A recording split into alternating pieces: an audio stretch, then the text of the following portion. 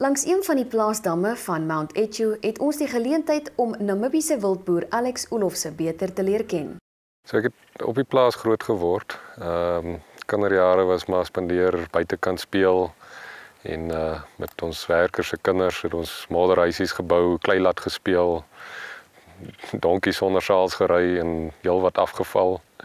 En uh toe dit nou tyd kom om skool toe te gaan, toe wou my ouers nou nie eintlik dat ek nou van die plaas moet weg nie. Toe besluit hulle sommer om 'n skooltjie op die plaas te bou. En uh deur die aantal werkers wat ons het, was daar heelwat kinders gewees, so dit het regverdig dat daar 'n skool gebou word. En uh, ons is toe skool toe en uh twee onderwysers en uh, so die skooljare begin. En skool was altyd uh, namiddag was maar moeilik geweest om huiswerk te doen want daar so baie ander lekker goed op die plaas is om te doen. Ehm um, uitgaan en gaan jag of iewers in die garage rondspeel op 'n ou Land Rover en uh maar op 'n manier het ons toe skool klaar gemaak en matrikuleer hierso. En uh, ons was vier matrikulante gewees. En van hier af is ek toe Stellenbosch toe en uh meganiese ingenieurswese gaan swat. So dit was nogal 'n verskil geweest om van 'n klas van 4 te gaan na 'n klas van 300. En uh, uh dit was maar was 'n lekker aanpassing geweest en ek 'n nuwe mense leer ken en uh Stellenbosch is maar lyk like my 'n hub vir klomp Namibiërs. So baie Namibiërs weer in Stellenbosch leer ken en dis toe ook waar ek uh, Carola leer ken het. En uh, ons het in uh, Stellenbosch begin uitgaan en ons het tamelik lank uitgegaan. Dit is 7 jaar na ons begin uitgaan het, is ons toe getrou. En uh, Carola het uh, meesters in genetika gedoen op Stellenbosch.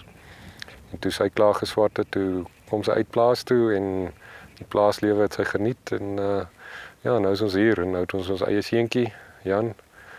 En uh, hopelik kan hy die lekker kinderlewe hê wat ek gehad het en uh, met renosters in die modder speel. Toe dit nou tyd was om te gaan swat, ehm um, toe het ek nou 'n uh, kar nodig en uh so toe baie karre deur gekyk en my pa het gesê hy hy kan vir my 'n Jeep kry of so iets, maar ehm um, die oom wat die Ories bou, om Ewart Smit, hy het hierdie geel Orietjie gehad en dit was net vir my 'n mooi karretjie.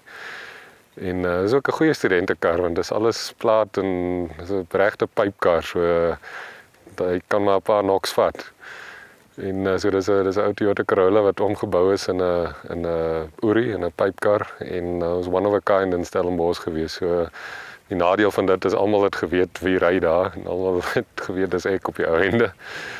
En uh, dit was 'n uh, ja, was 'n lekker so 'n paar lekker kuiers gehad met daai karretjie. En van daar die die Jägermeister stiker wat agterop is.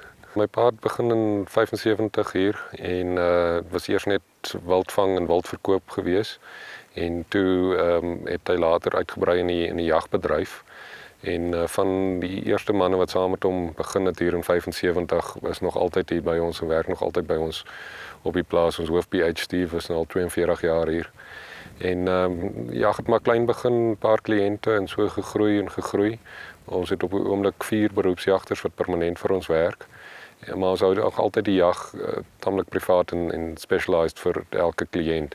So as die vier beroepsjagters uitgeboek is, dan neem ons nie addisionele jagters in nie.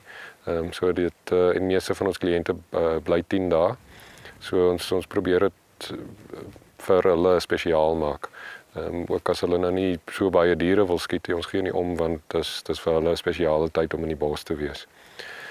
Ehm um, later toe kom daar nog 'n uh, toeriste lodge by. Ehm um, dit het ontstaan deur 'n filmmaatskappy wat wou 'n uh, fliek draai hierso en hulle het 'n klomp kamers nodig gehad. So die die kamers is in 'n tamelike kort tyd in 3 weke 20 kamers gebou en ehm um, so die toeriste lodge ontstaan. Nou dit is basies al twee fasette vir die jagters en die uh, toeriste.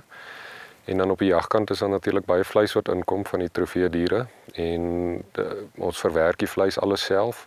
So ons uh, verkoop bors en mince en sausaties en uh stuurvleise en uh, dit dra natuurlik baie waarde aan die vleis by as wat mense nou net die karkasse sou verkoop. Ehm um, so die die vleisproduksie het ook nog 'n groot uh, kant van ons besigheid geword.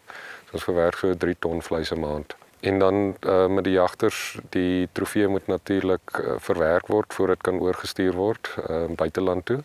En uh, ons is EU registered om ship and dip te doen. So ons doen alles in-house en uh, dit ons is verseker dat as die as die shipment uitgaan dat die velle reg behandel is en dat die koppe reg gebleach is en sodat ons spaar geld vir die jagter want hy hoef dit nie na 'n taxidermis te stuur nie en ons is seker dat die jagter die vel kry en die kop kry wat hy wel geskiet het. Wanneer ons volgende keer verder met Alex Olofse gesels.